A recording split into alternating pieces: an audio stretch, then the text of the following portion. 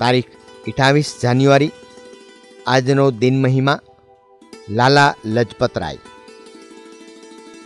લાલ બાલ અને પાલની પ્રખ્યાત ત્રિપુટીમાં એક પ્રભાવશાળી વ્યક્તિત્વ અને નવ યુવાનોના હૃદયમાં આદરણીય સ્થાન ધરાવતા લાલા લજપતરાયનો જન્મ તારીખ અઠાવીસ જાન્યુઆરી અઢારસો ને પાસઠના રોજ થયો હતો.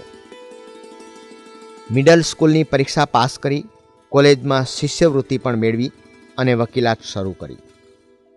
પૂનામાં ફાટી નીકળેલા ભયંકર પ્લેગ સમયે દુષ્કાળ વખતે અનાથને દુઃખી ભાઈ ભાંડુઓને સક્રિય મદદ કરવા માટે લાલાજીએ દિન રાત એક કરીને આપણી સમક્ષ એક પ્રેરક દ્રષ્ટાંત રજૂ કર્યું. ઇંગ્લેન્ડ જઈ ભારતની પરતંત્રતા અને ભારતવાસીઓના હક પર ઠેર ઠેર વ્યાખ્યાનો આપી લોકમત જાગૃત કર્યો.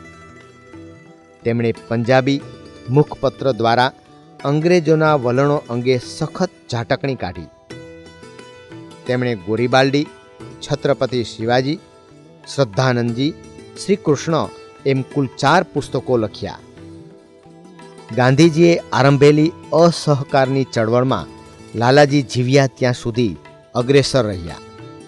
સાયમન કમિશનનો બહિષ્કાર કરવા કાઢેલા સરઘસની આગેવાની લેવા બદલ અંગ્રેજ પોલીસોના આડેધડ લાઠીમારથી ઈસસન ઓગણીસો ને અઠાવીસમાં અમર શહીદીને વર્યા તેઓએ કહેલું, મને મારેલી પ્રત્યેક લાઠીના કારમાં ઘા બ્રિટિશ સામ્રાજ્યના કફનનો એક એક ખીલો બની પુરવાર થશે.